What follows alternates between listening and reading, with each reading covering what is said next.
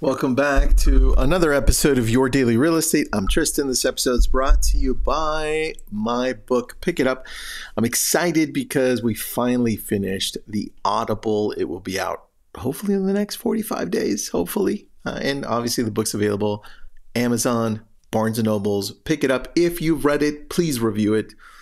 Even if you didn't finish it, I just need reviews. If you liked it, if you didn't, um, you know what, just message me. But let's talk about a meeting I had yesterday where my friend James Becker brought up these three points about becoming a better real estate agent, becoming a better leader in general. And he started off with one that was very reminiscent for me of Charlie Munger, Warren Buffett's business partner, who just passed away uh, just a few months ago. And my friend said this he said, Tristan, fundamental number one be the company that you would hire. I'm like, yeah, that that makes sense. I love that one. I had heard it before, but as he's saying it, I'm thinking, man, what do I need to do? And as I'm saying that, I need you to think about it too. What do I need to do to be the company that I would hire? What are the processes I need in place? How do I need to function? How do I need to show up? What do I need to provide?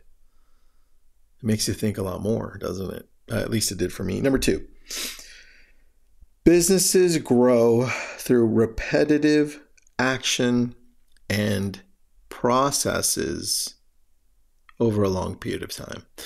And I think we tend to forget that, uh, especially with a more immediate gratification type culture where we're used to going to Amazon and ordering and getting here quickly, or us going quickly somewhere and being able to order and getting it quickly. I think long, long time has passed where we would actually take a few days to get to where you were going. Or if you wrote a letter, you would know that in some cases, months would go by before you received a letter back.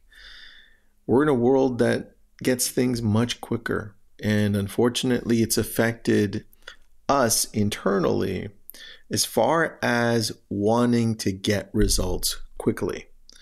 And if you've been in this business for a while, you know that it takes a while. If you're newer, you will find out it takes a while, but you have to be doing the right things. And that's taking action daily.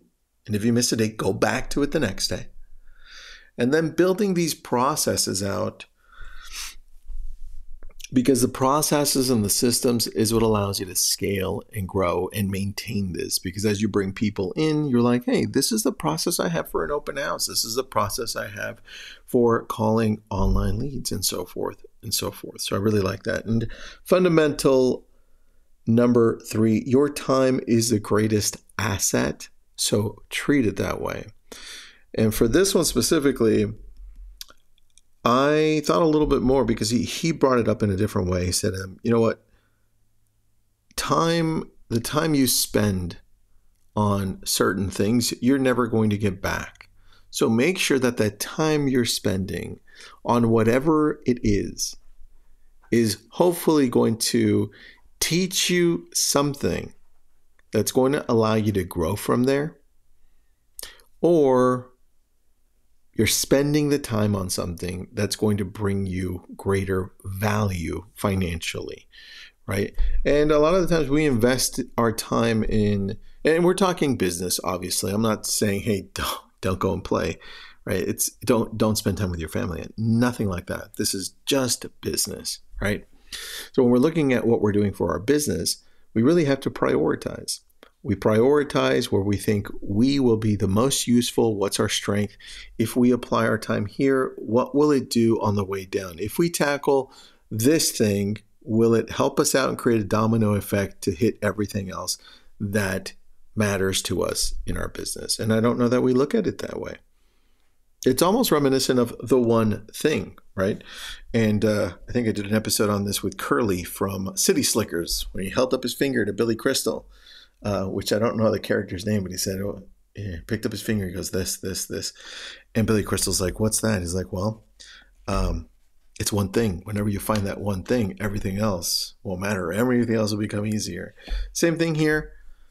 Focus on those things that make you feel like this is it, this is going to be it, and make others feel like, damn, how does she, how does he get so much done? Well, it's because you're focusing on that thing that makes all the difference. Let's talk again.